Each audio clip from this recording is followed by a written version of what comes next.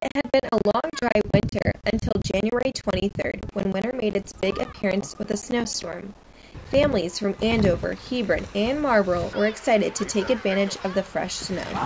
It was nice to get some snow this year, although after last year I wasn't really looking forward to too much of it, so I'm glad it wasn't too much. It was just, just the right amount. At Gilead Hill School, kids enjoyed having fun sledding along with other winter oh, activities. I like sledding and I like clearing snow with my parents. I like playing in it, shoveling, sledding.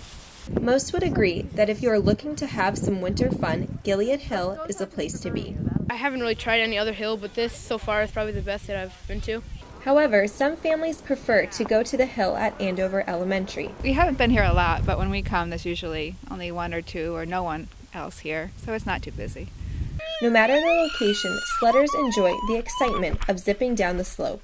I like going off like those huge banks that like the snowplows make, and I like going fast and going off jumps, and I like falling off and getting all rolled up in snow. Sledding, along with other activities, is a great way to spend quality outdoor times during the winter season. We go ice skating sometimes, and we like to be outside having fun, enjoying this beautiful, beautiful day. Some snowball fights, yep, being with the family.